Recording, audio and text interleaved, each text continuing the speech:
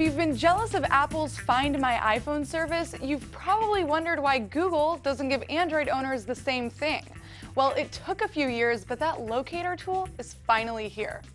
The Android Device Manager lets you find an Android phone or tablet, make it ring, and if you think it's in the hands of a thief, you can even remotely erase it. To show you how this works, let's say I lost this phone and I'm trying to find it with this tablet.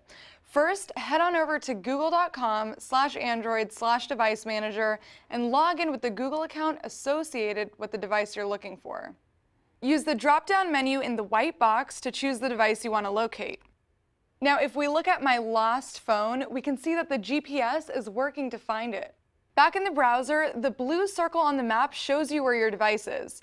It's not a precise location, but it's usually accurate within a few dozen meters. At this point, you can make your phone ring by clicking this button, and it'll sound off even if it's on silent. If you think your phone was stolen, it's probably a good idea to leave the investigation to the police.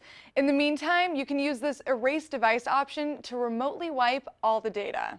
For this feature to work, you'll have to set it up on that device ahead of time. Head to your phone or tablet, then go to Google Settings, Android Device Manager, and check this box. Just know that if you are forced to use that erase device option, you completely lose access to it, meaning you can no longer locate it. Now, it's great that Google is finally giving us this feature, but it could use a little help. For starters, you can't remotely lock your phone, so be sure to set a secure lock screen passcode.